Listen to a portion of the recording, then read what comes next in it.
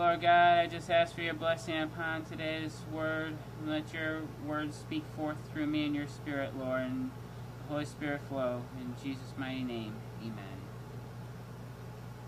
Alright, to start us off, I'm kind of give you a brief uh, synopsis of what today's sermon's about.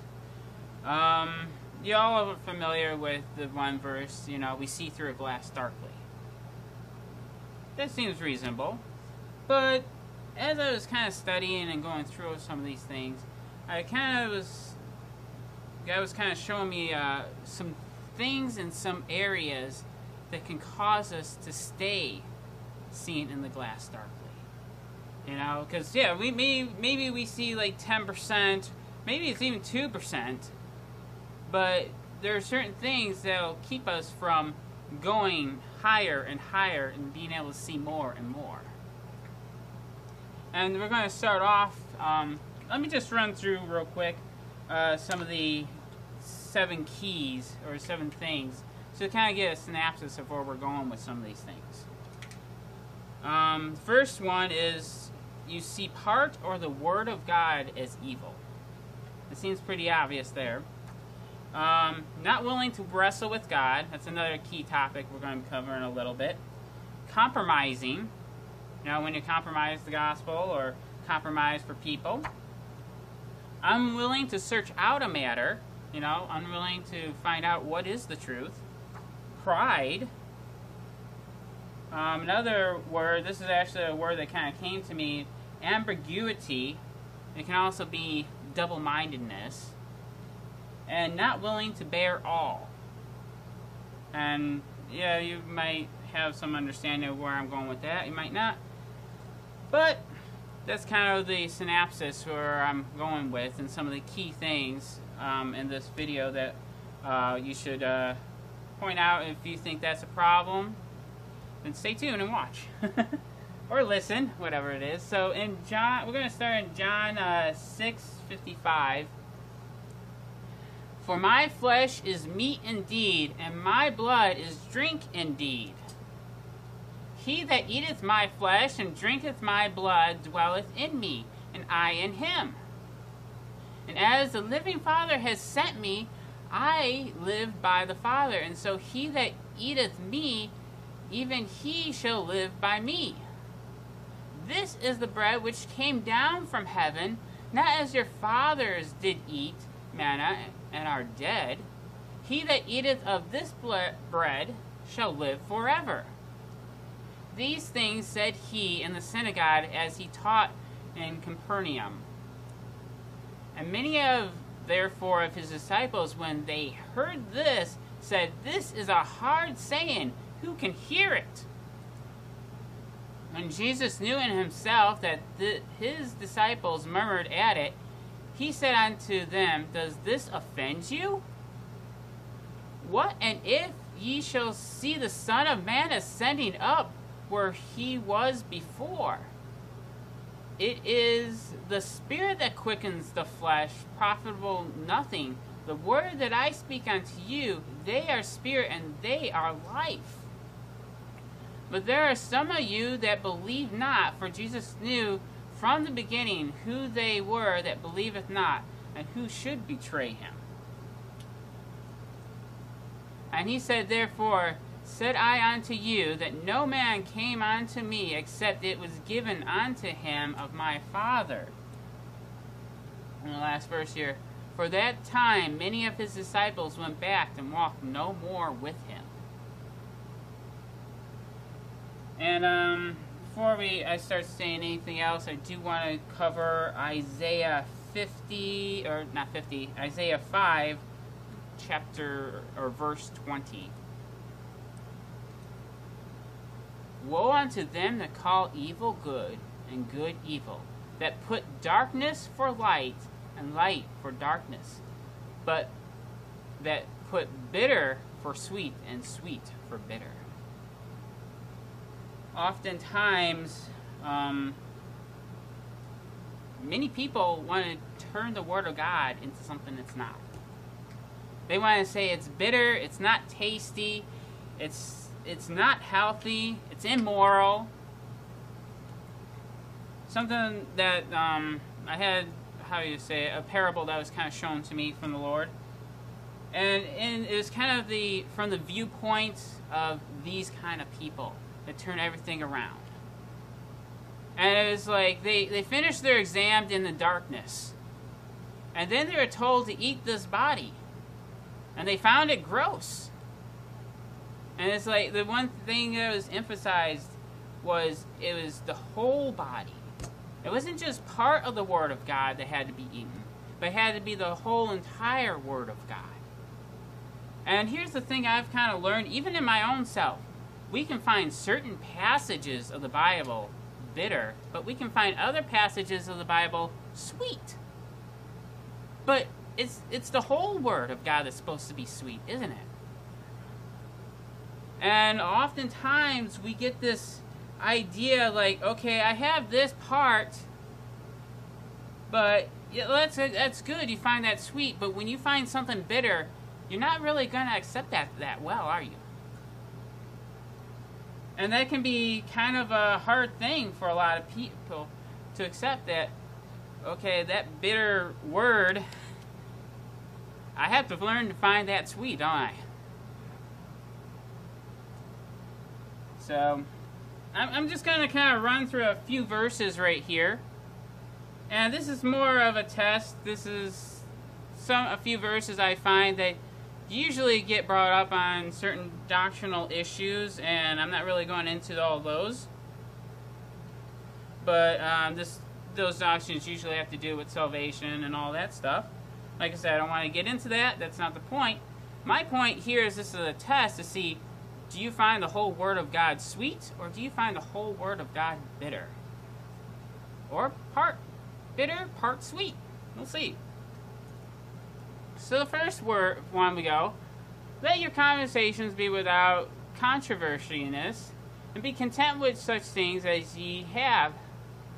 For he that says I says Oh yeah.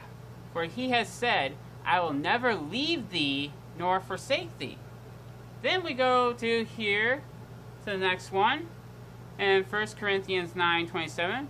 I keep my body and bring it into subjection, lest that by any means I have preached to others, and I myself shall be a castaway.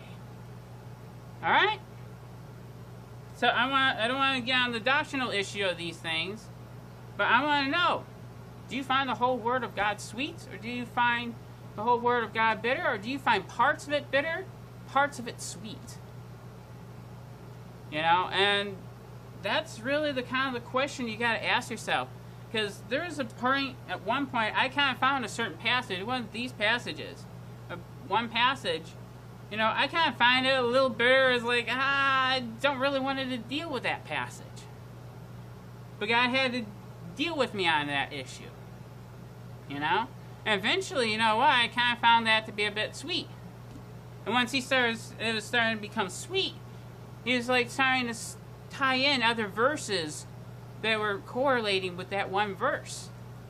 And so when we find the Word of God bitter, it's hard for Him to operate and to show us new things and to show us how it all fits together.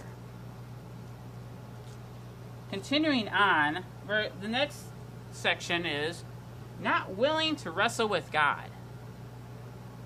For this it was kind of interesting to me because um, when I was kind of in this section here, God was kind of showing me, reminding me of something that happened in my past.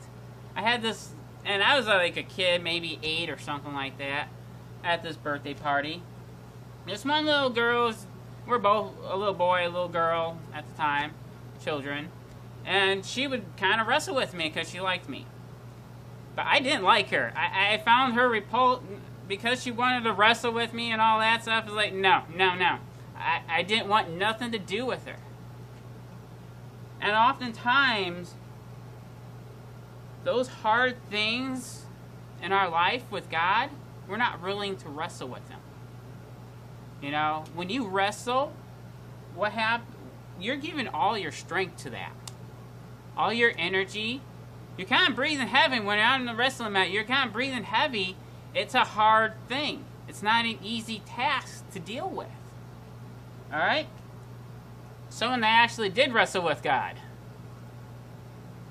And uh, this is Genesis chapter, starting at uh, chapter 22, uh, verse 20 or 24.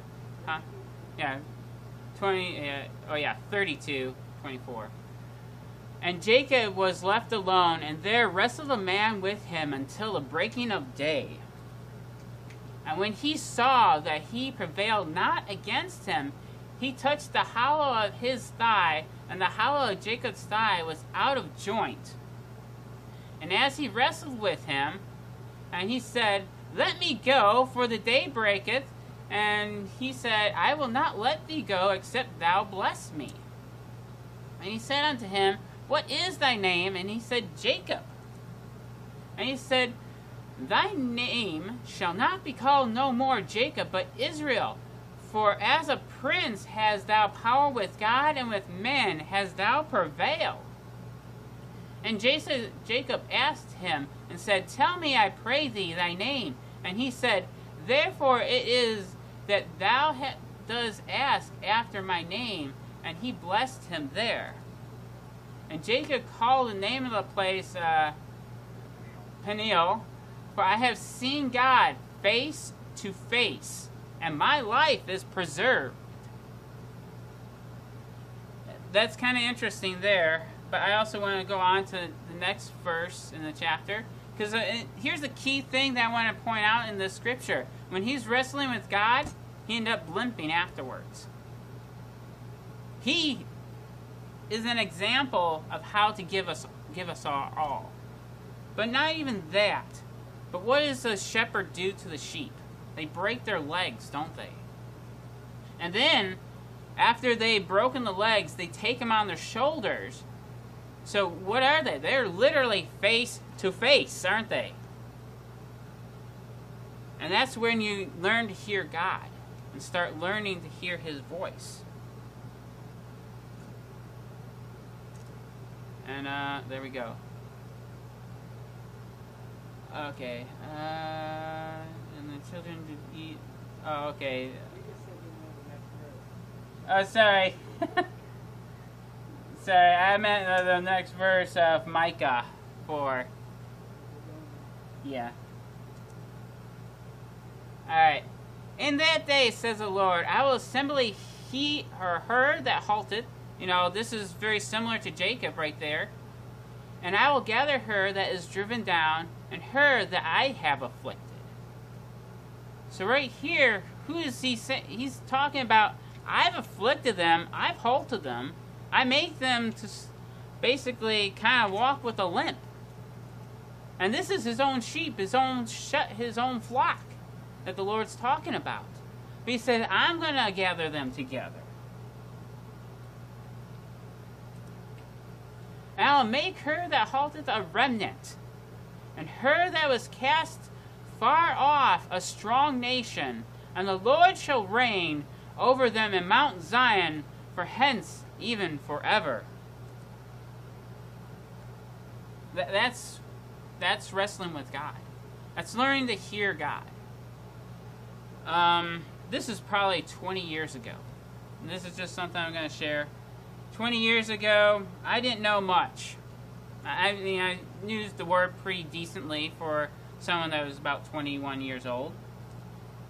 But for whatever reason, I felt led to the Lord to go to this particular church that's a mega church.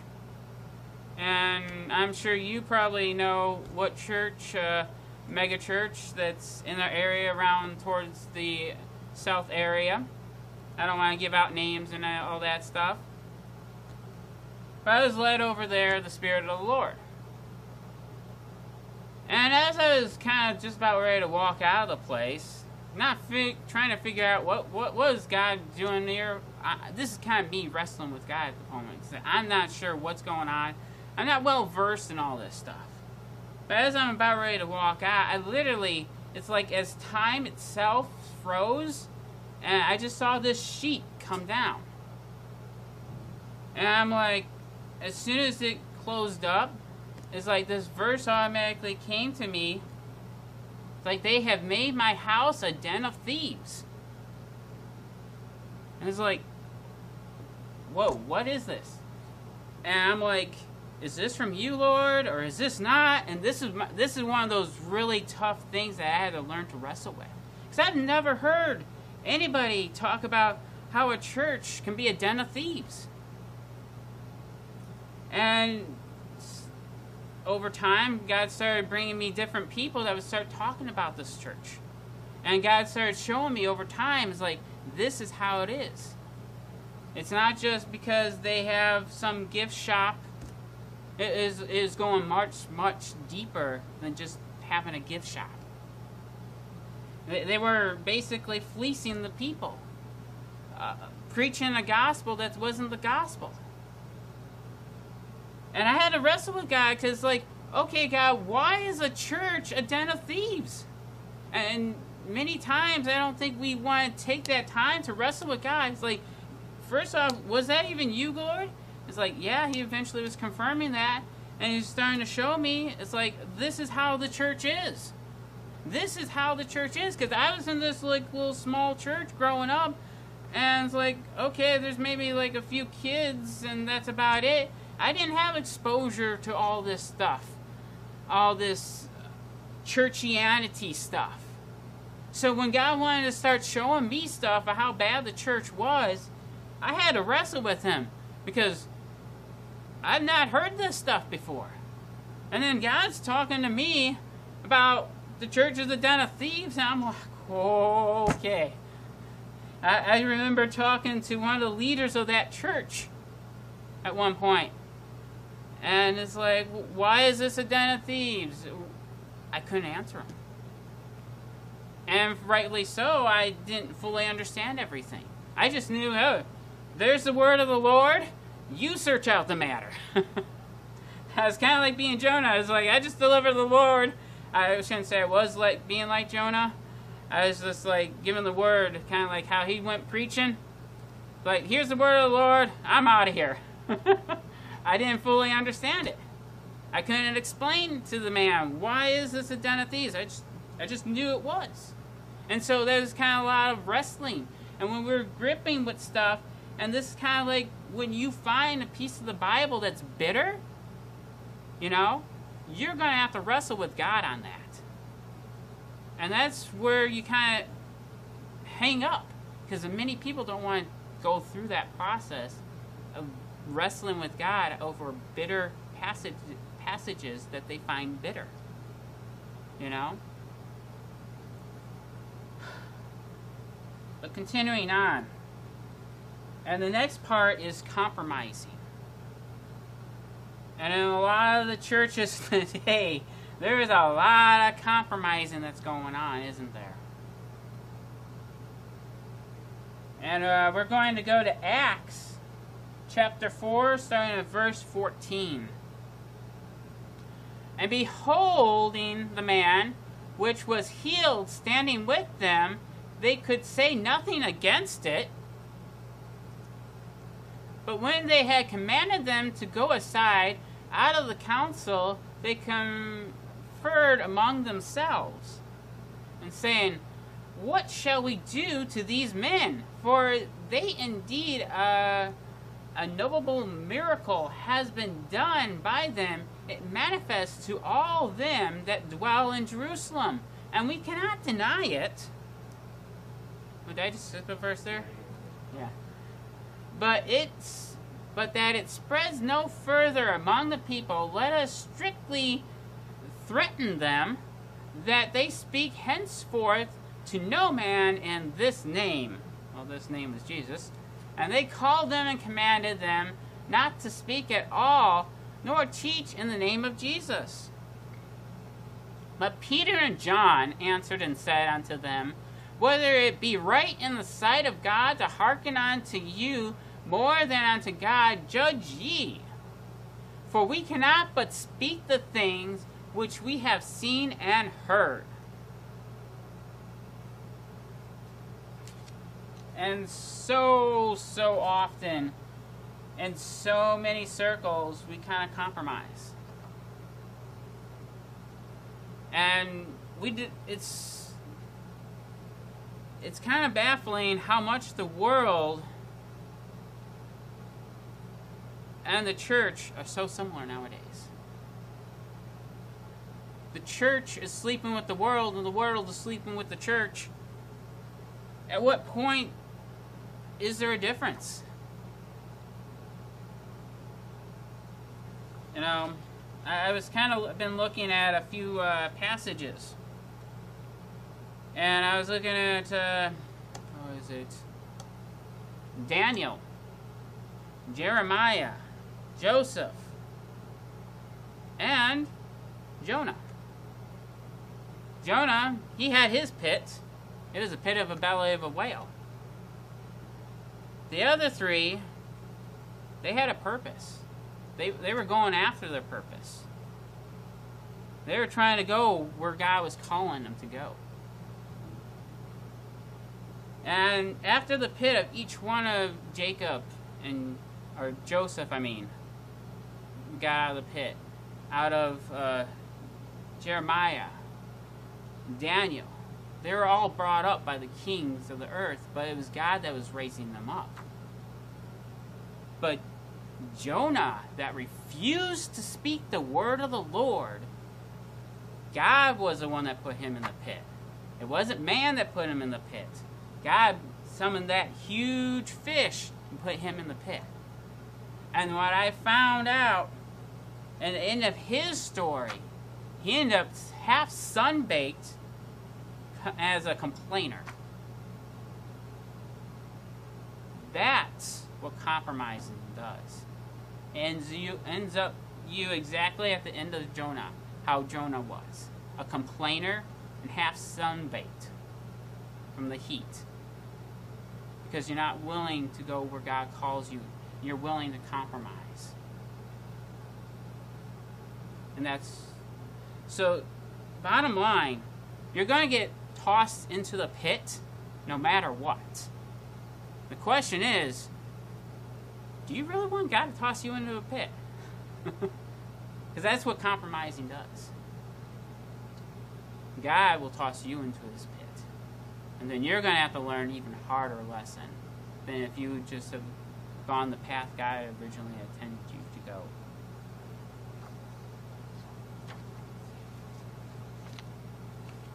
Continuing on, the next uh, topic unwilling to search out a matter. In Proverbs,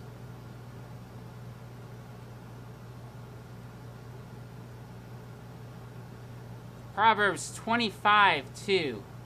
It is the glory of God to conceal a thing, but the honor of kings to search out a matter. Wait a minute here. God's concealing a thing? Most people would be like appalled at that probably. But he's saying it's the honor of kings to search out a matter. So right here we often we see is there is already a veil there. God's concealing stuff. But he's given us, his children, the ability to search out a matter. You know, we want to be quick to judge something, quick to criticize. We're not willing to search out a matter if they're doing, doing something right or if they're doing something wrong. One of the best uh, things I can say to this is um, I had someone, I had done a 21 day fast. It was a Daniel fast, just vegetables, no meats kind of deal. Some peanut butter from protein. So I had a dream. I was sharing it on the internet. It's fine. I had plenty of verses, showing all the verses and all that stuff. I had this other lady that automatically started criticizing it. Now she had dreams and all that stuff, so uh, like most of her channel was just all dreams. That's over 50% of it. But she automatically just criticized me because she didn't find it kosher or whatever it was. And she was actually tithing to me. That's kind of part of the reasons why she came against me. She was sending, she was trying to send people over to my channel. She was starting to give me, I gotten like three hundred dollars for tithing from her. And this kind of goes into compromising a little bit, but she wasn't willing to search out the matter. It wasn't until she starts like, oh, you know, before you go to sleep, you gotta anoint your head with oil, anoint the doorpost, and all that. And you know, that stuff's actually good to do sometimes when you're directed by the Lord. But the matter was finally settled when I start, when I revealed to her. It's like I, I was. This was during a 21 day fast, and then she just changed tune automatically. And it showed to me that she wasn't searching out whether this was from God or not. She was just quick to judge. And you know what ended up happening? Because I didn't want the money anymore. I wasn't willing to be to have someone that's trying to control. And the Lord ended up striking, allowing her house to be struck like lightning. Yeah. And in the process, she all her computer was fried. Her bed that she had was literally stuck in the up position. And she's like, uh, right, supposed it's like, yeah, it's going to cost at least $300 to get this fixed. And it's like, okay, I'm sending the money back to her. Because it was just kind of crazy. It's like you might you start giving. She wasn't willing to first search out the matter. And I knew where her discernment was. And part of searching out a matter is sometimes having good discernment. But yeah, it's like I don't think she listens to any of my videos anymore. but yeah, that happens. And it's kind of sad, but we're not willing to search out things, are we? The whole body of Christ are so quick to judge something because they don't deem that their way of thinking. And continuing on, we're going to go to John chapter 5, 39. Search the scriptures, for in them you think you have eternal life. And this is Jesus speaking. Alright? And he's saying, And they are they which testify of me. And ye will not come to me that ye have might have life.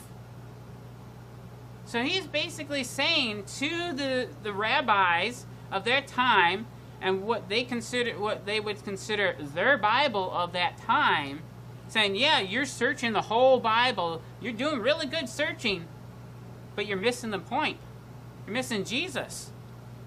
You're not searching after Him.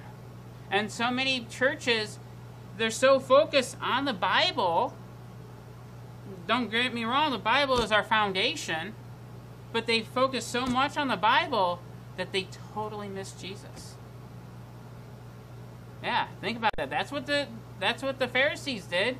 They're so focused on the scriptures, they're like searching the scriptures, thinking that's going to bring them eternal life. But it's through Christ. And it's through Him, isn't it? For what is it? What is He? In John 1 4, for in Him was life, and the life was the light of men. And the light shineth in the darkness, and the darkness comprehended it not. So how are we going to see through the glass if we're not even looking towards the light? And he says here, which I of find interesting, the darkness comprehends it not. You know, sometimes I think when you have a bright light that's shined right in your face, you're not going to comprehend much of anything, are you? You're going to be kind of like, where am I? Kind of like a dead in the, in the he- headlights. You know, they kind of like, whoa, they just stop, stare, like, what's going on? And I think that's kind of how we are. If we actually saw the full brightness of Christ, we probably wouldn't be able to comprehend it. And that's why we uh, we see through a glass darkly a lot of times. Is because we would not be able to fully comprehend, I think, the fullness of Christ and God Himself. Because He is the light that we're supposed to be looking for and looking towards.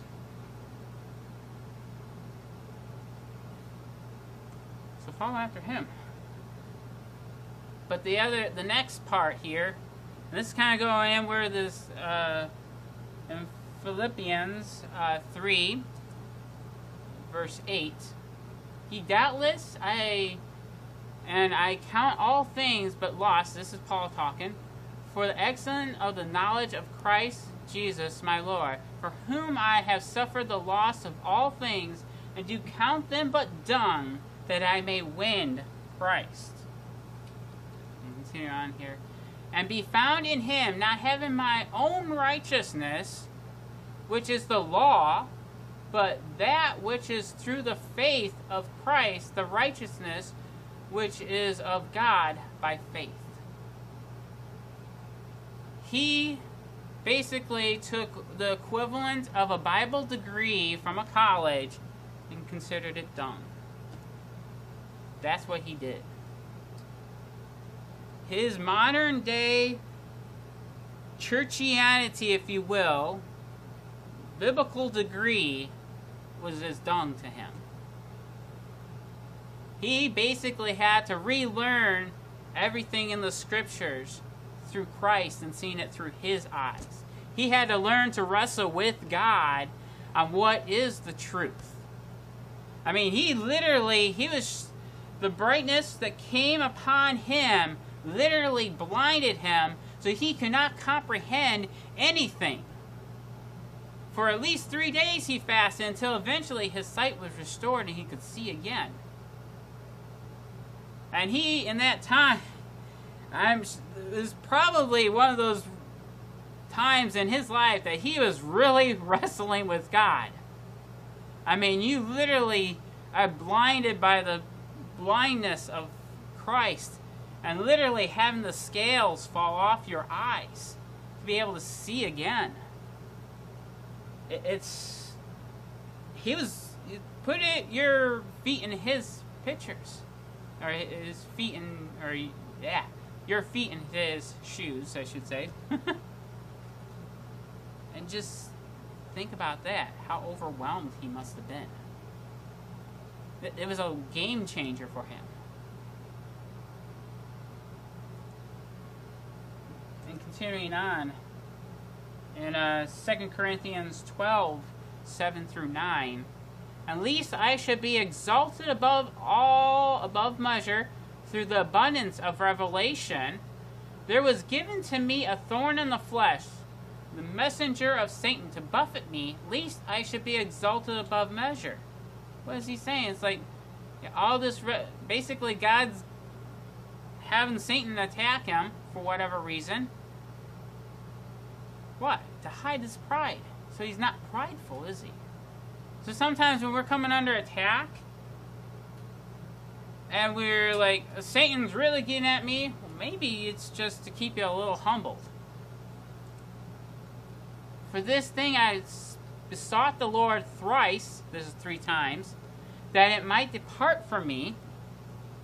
And he said unto me, My grace is sufficient for thee, for my strength is made perfect in weakness. Most gladly, therefore, I rather glory in my infirmities, that the power of Christ may rest upon me. Paul was one of those disciples that had a lot of revelation of Christ, of who he was. Maybe more so, I think, than a lot of the other disciples did.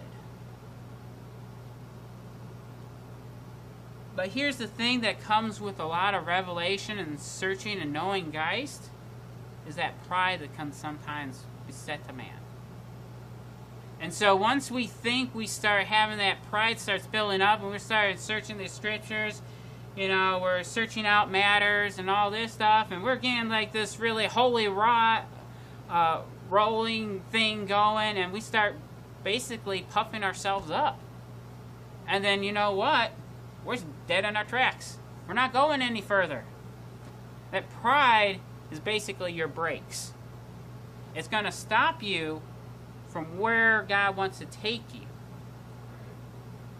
And He can't show any more to you of His glory, and you're going to stay in that seeing through the glass darkly even more than if you didn't have that pride.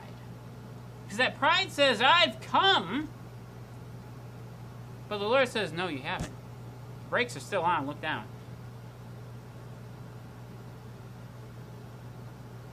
And so this is kind of him saying it's like he gave up. Think about this now. Paul gave up all the um, knowledge that he acquired, all the biblical college knowledge of that day, and he received all this revelation. God gave it back to him, in a sense. But he had to make sure his pride, the pride didn't get in his way when he did so.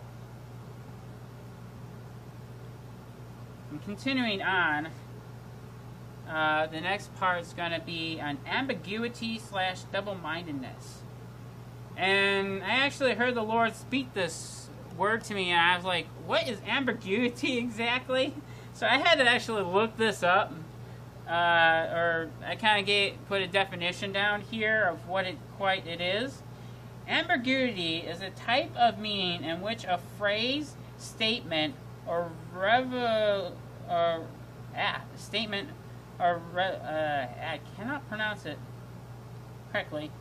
Resolution or so, uh, solution is not explicitly defined, making several interpretations possible.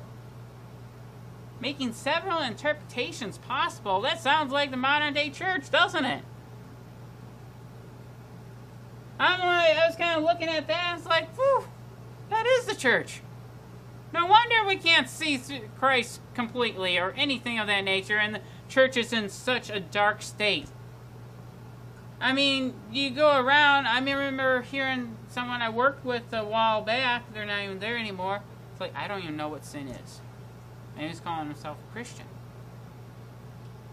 What is what is sin exactly? And I, so many people are actually struggling with that. They don't want to define what sin is.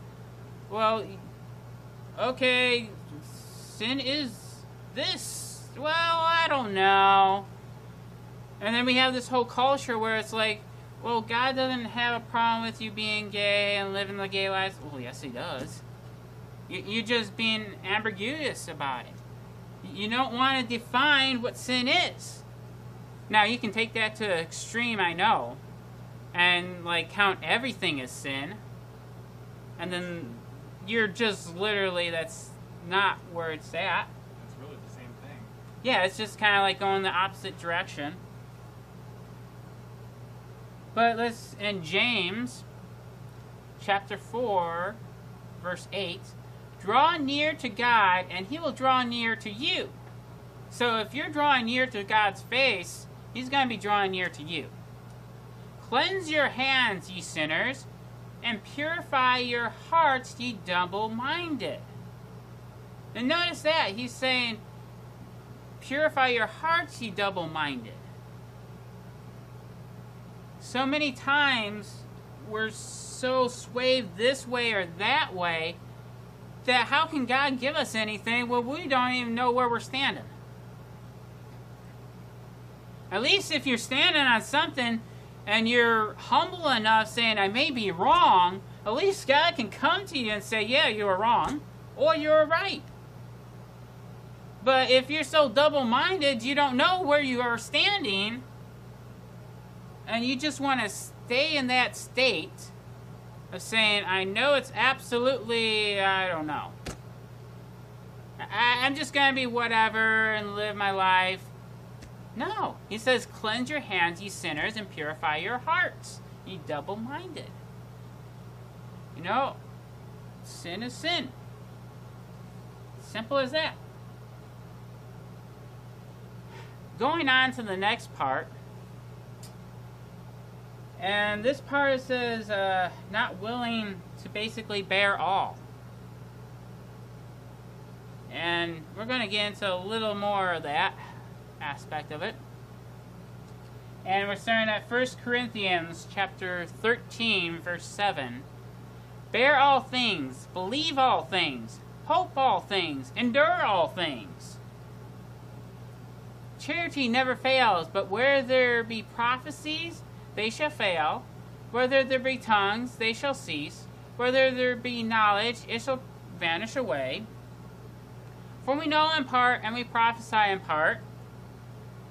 But when that which is perfect is come, then that which is in part shall be done away. So we're seeing through a glass darkly, seeing in part, but when it comes, we'll see in full. When I was a child, spoke as a child, I understood as a child, I thought as a child, but when I became a man, I put away childless things. What's he talking about? He's growing. He's talking about growing pains. You know, when you're a child, you only understand so many things. You try to explain to a three year old how to operate a nuclear reactor. That's kind of the equivalent of trying to teach. Uh, granted, they have a great capacity to learn, but they're not at that stage to fully understand the complexities of a nuclear reactor. And so it is with us, with God, that we're a mere child trying to understand a nuclear reactor and how it operates and how it gets the power and how to actually build it properly in every aspects of the structure. We're trying to understand that. But we have to grow in understanding. For now we see through a glass darkly, but then face to face. Well, wait a minute. Didn't Jacob say that? So I seen God face to face. Hmm, that's interesting. And now I know in part, but then shall I know even as I am known. Now I want to go back to, not back, but the first part of that whole passage I was starting with was bear all things. The first thing is obviously, okay, I'm going to suffer, and that means to bear stuff. It's not the whole aspect of it. Because the one thing I was remembering in doing all this is there are sometimes people in marriages that have not seen their spouse naked. Because their spouse is too ashamed to see their spouse naked, so when they have sex, they'll have the lights off they'll be underneath the sheets so that they can't see their body.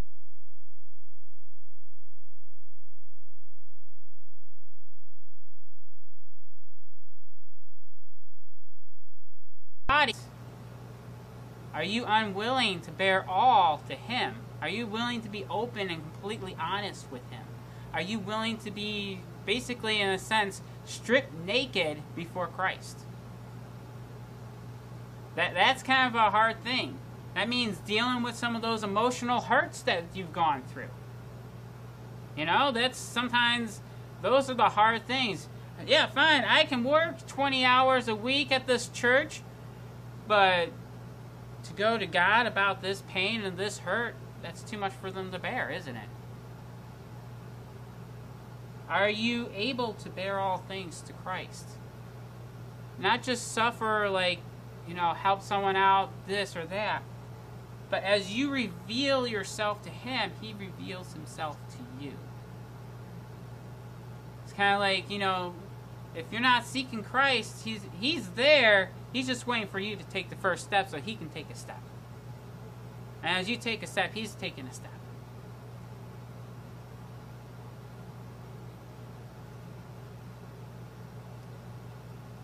And then the last part of this passage here. And this is basically Moses, Aaron, and uh, Miriam. This is kind of surrounding them. And this is what God was saying to Miriam and Aaron uh, for coming against Moses. And he said, and he said, Hear now my words. If there be a prophet among you, I, the Lord, will make myself known unto him in a vision and speaking unto him in a dream. My servant Moses is not so, who is faithful in all my house. With him will I speak mouth to mouth, even apparently, and not in dark speeches, and the similitude of the Lord shall he behold. Wherefore then were ye not afraid to speak against my servant Moses?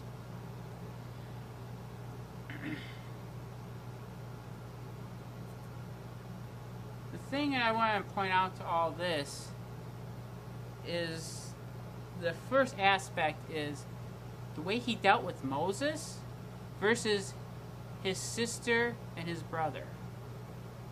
His brother and his sister was dealing with dreams and visions, and God to that that was a similitude.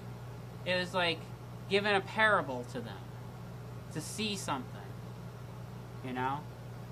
And that is how God was speaking to them, kind of through riddles, because the dark space, the uh, right here, it's talking about you know dark speeches. Well, that's sometimes proverbs. It's also translated as. It's also sometimes called riddles. And so God's not speaking to them directly. Well, if God's not speaking to them directly, they're only seeing in part, aren't they? Now it starts coming back to full circle here. It's like we see through a glass darkly. You know, we see in part. But we see here Moses wasn't like that. He spoke mouth to mouth with God. You know, if you're mouth to mouth, you're face to face. Most people don't see that connection. That's kind of something the guy was trying to show, was kind of showing me, is there is something higher to go for. To to God, be with God face to face, mouth to mouth, like Moses. But I think a lot of times we kind of get in that so that mindset of I'm not willing to go that far. I'm not willing to bear all to Christ. Because that's what it's going to take.